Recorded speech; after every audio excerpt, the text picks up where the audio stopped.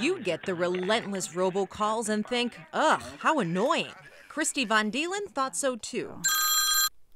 Hello? Until she decided to do something about it And I'll be like, oh, I got a live one. and fight back. I'm like, oop, cha-ching. From her home office in Anoka County, she finds the culprits and then demands they pay her. Ballpark, how much money have you gotten in settlements? After this one that I'm expecting that I just signed off on today, it's over $42,000. $42,000? We had to know how. Kristi walked us through the process. It started with buying this kit Doc Compton's Turning Robocalls into Cash. For $47, it promises to help you stop the calls and start collecting. I'm thinking, is this thing real?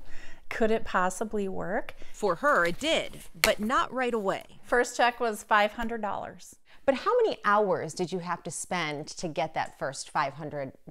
Well, like I said, it took six months. Here's the deal it does require some time and effort. So today, Kristi, who also has a full time job, logs every call. the 12th. She even records them. Hey, this is Mike with Dealer Protection Services. And she plays along, trying to get a human so she can dig for intel. Are you still living in the state of Minnesota? Especially when you're beginning, it's a lot harder because you have to learn how to talk to these people in order to get the information you want and need.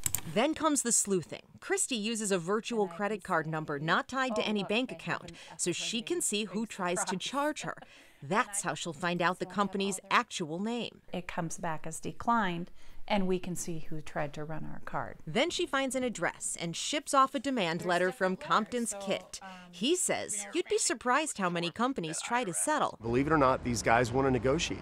They don't want to go to court because it, number one, exposes their identity, which they don't want. Uh, and then also, too, it kind of opens the door for the feds to come in and examine their call records and their business practices. We are reaching you to inform Robocalls you are illegal. So is calling someone on the do not call list, like Kristi is. Thanks to the Federal Telephone Consumer Protection Act, robocallers can be on the hook for between $500 and $1,500 for every call. So if you log more calls from the same company, it's a bigger paycheck. As Kristi's gotten better at the process, the checks have gotten bigger and easier to obtain. Some of them are really easy. She's bought a car, This I paid for in cash. taken a trip to Costa Rica, paid down debt, We did pay off our camper. and found an online community of others making annoying robocalls work for them. We actually feel like we're like an army out there for the greater good. Fighting one robocall at a time. At this point, we just want our phones back. Kristi says this kit helped her a lot, but it really is something anyone could do with some legal research and by investing the time. And you know those annoying auto warranty robocalls? Well, Kristi says that's who she's gotten the most money from. For Take Care of Your Money, I'm Lauren Leamanczyk.